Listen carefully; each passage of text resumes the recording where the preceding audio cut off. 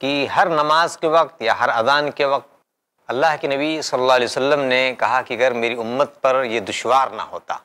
इस्लाम युरीदुल्लाबिकमसरा वला युरीदबिकमसर कि इस्लाम बंदों से आसानी चाहता है, यानी बंदों के ऊपर आसानी इस्लाम पसंद करता है।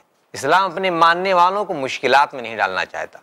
अब अगर इस्लाम मिसवाक को वाजिब कर देता तो बहुत सारे लोग बेचारे वो बरत नहीं पाते इस चीज़ को, मुश्किल में पड़ जाते। जी।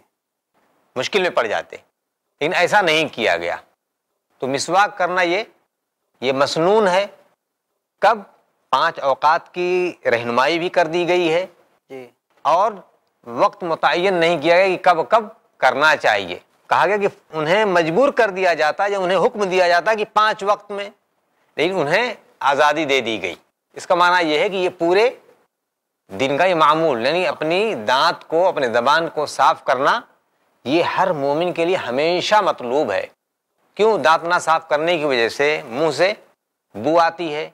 इस मुँह से बू आने की वजह से एक मुसलमान भाई को या दूसरे इंसान को तकलीफ़ पहुँचती है। इस ज़रर से बचा जा सकता था और बचा जाता है। इस वजह से इस्लाम ने हुक्म दिया कि आदमी मिसवाक करे ताकि उसका मुँह साफ़ रहे, उसके मुँह से कोई बदबू ना आए और उसका मुसलमान भाई या कोई इंसान उससे तकलीफ़ महसूस ना करे। तो एक तो ये फ़ायदा उसके साथ रहा, हमारे यहाँ जैसे राइज है कि सुबह के वक्त ही सिर्फ़ इंसान मिसवाक करता है। लेकिन आज वो डॉक्टरों से पूछिए, वो समझते हैं, दांत का डॉक्टर कहेगा हमेशा कि कम से कम तीन बार मिसवाक करना ही चाहिए। और तीन वक्त में इंसान अपने खाने खाता है। और आज तो आलम यह है कि इंसान दिन रात खाने में लगा रहता है। हर वक्त कुछ ना कुछ वो खाता ही रहता। तो उसके लिए तो और ज़रूरी हो गया कि हम वक्त वो मिसवाक करता रहे जो है। जी। अरबों में आप देखेंगे कि वहाँ इस चीज़ का रिवाज है चलन है और लोग अपने जेब के अंदर मिसवाक रखे रहते हैं। हमारे यहाँ आज ब्रश का रिवाज है। लोग ब्रश करते हैं इसलिए ब्रश लेकर के तो चल नहीं सकते।